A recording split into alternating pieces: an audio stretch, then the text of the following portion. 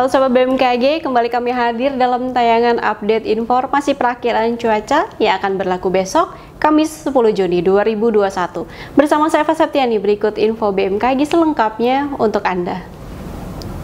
Ya Sobat BMKG, untuk informasi yang pertama perlu diwaspadai bahwa terdapat potensi hujan lebat yang disertai dengan kilat, petir, dan angin kencang yang diperkirakan terdapat di wilayah Sumatera Barat, Riau, Bengkulu, Jambi, Sumatera Selatan, Banten, Jawa Barat, Jawa Tengah, Yogyakarta, Kalimantan Barat, Kalimantan Tengah, Kalimantan Utara, dan Kalimantan Timur, serta untuk wilayah Sulawesi terdapat di Sulawesi Tengah, dan untuk wilayah timur Indonesia yaitu di wilayah Papua dan juga Papua Barat.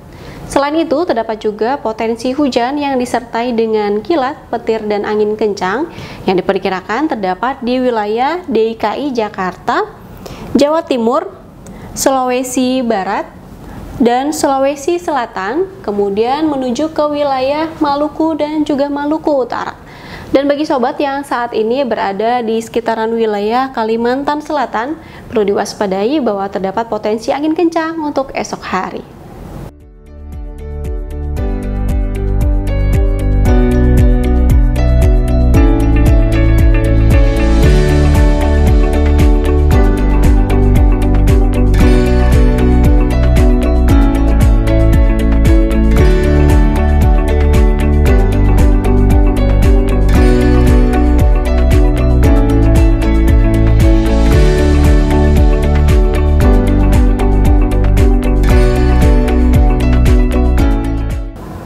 Ya demikian sobat informasi perakiraan cuaca yang dapat kami sampaikan untuk Anda.